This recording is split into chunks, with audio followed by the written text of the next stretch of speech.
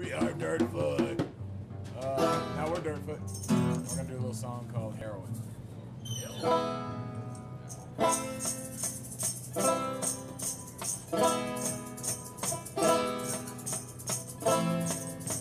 I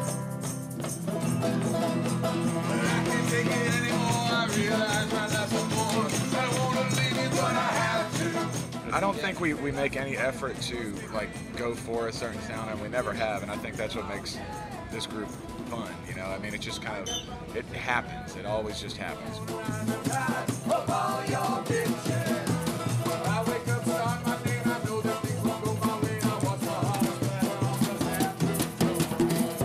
Derek, our new drummer, has brought in kind of a, a rock sound. He has brought this other feel to the group. Been great. You know, there's uh, the songs were already there. You know, uh, I have as much fun playing the old songs as I do anything that I've wrote with the band so far. So it's, it's been great.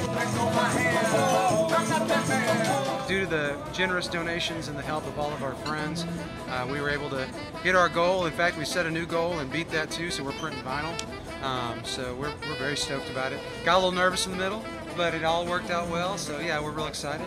So we are we're able, we're going to be able to release our, our new record, which we recorded uh, just this last month in, uh, at Blade Studios in Shreveport. We got some great people on it, like uh, Papa Mali, uh, Rebirth Brass Band, uh, Tim Carbone, uh, just a, a bunch of people that have really, you know, stepped up to help us make a great record.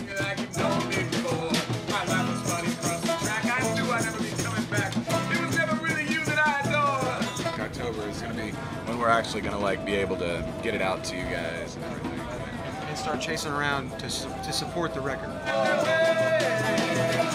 Take on my hand. We've just got through mixing the record, and, and I mean, it's it's the best thing we've ever recorded. I mean, it's just without a doubt, hands down. I mean, it's just we listen to the record, we're like, wow. I mean, just we're so so far, and, I, and I, at the same time, I think it's the it's just kind of scraping the edge of what we're going to be doing. You know.